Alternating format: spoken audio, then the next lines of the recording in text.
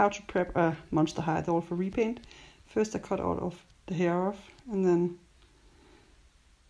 I put her in hot water and take the head off.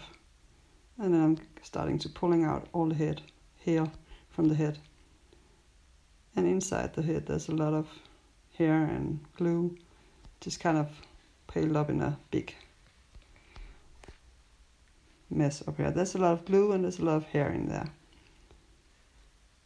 And it takes a while. And then I take off the face paint with acetone and afterwards I kind of use dishwash soap just to clean off and then hot water again.